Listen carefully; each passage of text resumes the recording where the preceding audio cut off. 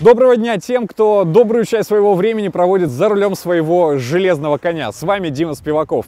Впереди еще два зимних месяца, один из которых это февраль, как правило, месяц очень-очень холодный. О том, как эксплуатировать ваш автомобиль в эти зимние месяцы, чтобы ваш железный друг служил вам верой и правдой, мы поговорим прямо сейчас. Прежде всего, хотелось бы посоветовать, если за окном минус 17, минус 20, эксплуатировать автомобиль не рекомендуется. Ни европейский, ни японский, ни какой-либо другой. Потому что какие бы ни были технологии, как бы ни старались производители, при таких температурах износы и разрушения металла увеличиваются резко, в разы.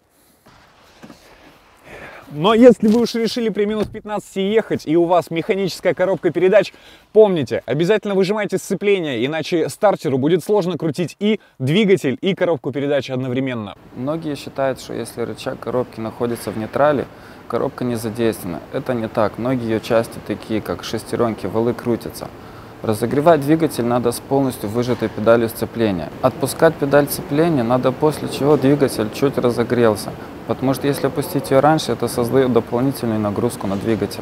При заводке инжекторных двигателей ни зимой, ни летом, ни тем более в мороз не трогайте педаль газа. Электроника сама знает, сколько смеси подать в цилиндры. При езде в мороз страдает и кузов. Я думаю, вы замечали, чем холоднее на улице, тем жестче становится ваша подвеска.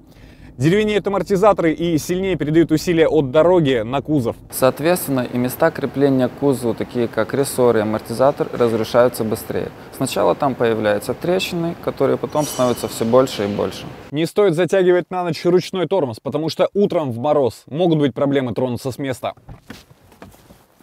так как когда вы вечером машину ставите, в горячих тормозных механизмах полно влаги, к утру они схватятся льдом. В сильный мороз постарайтесь свой автомобиль не мыть. Ни продувка личинок замков сжатым воздухом, ни размораживающей жидкости гарантии беспроблемной жизни не дают. Иногда единственный выход попасть внутрь своего автомобиля – шприц с чистым спиртом при любом морозе действует безотказно.